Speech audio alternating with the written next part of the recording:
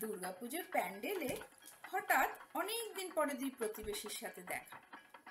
তাদের আলাপচারিতা ও কথোপকথনে উপভোগ করুন আর ভাবুন তাদের সম্পর্কটা। আরে মুখুজ্জে বাবু না? কতদিন পর দেখা?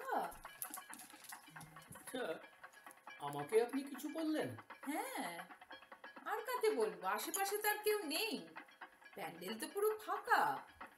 হ্যাঁ বলুন কি বলার আছে? না বলছিলাম এই পুজোর প্যান্ডেল দেখতে বেরিয়েছেন বুঝি? হ্যাঁ, আমাকে দেখে কি মনে হচ্ছে? প্যান্ডেলে আমি বাজার করতে এসেছি। না না তাই বলিনি। আচ্ছা দিদিকে সঙ্গে করে আনেননি? দিদি? আমার তো কোনো দিদি নেই। না মানে আমি আপনার ওয়াইফের কথা জিজ্ঞেস করছিলাম আর কি। আমার ওয়াইফ আপনার দিদি হলো কবে থেকে? আপনাকে তো দেখে মনে হয় আপনি ওনার দিদি হওয়ার যোগ্য। কুচি খুকি। আপনি না সে একই রকম রয়ে গেছেন। এতগুলো বছর কেটে গেছে কিন্তু মানুষ পাল্টায় তো। আপনি একটুও পাল্টাননি।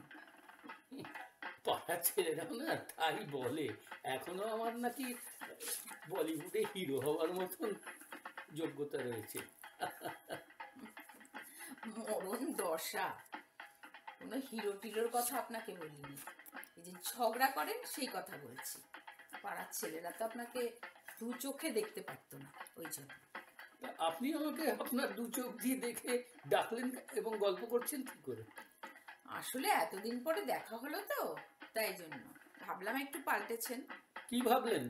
যে আমার সঙ্গে আপনি গল্প মস্করা করবেন? ছি ছি ছি ছি। আপনার সঙ্গে না কথা বলে আর আমি সময় নষ্ট করব না বুঝেছেন? সময় নষ্ট?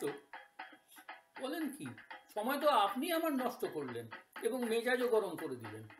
না আর কথা বলে লাভ নেই আপনি এবার আসুন।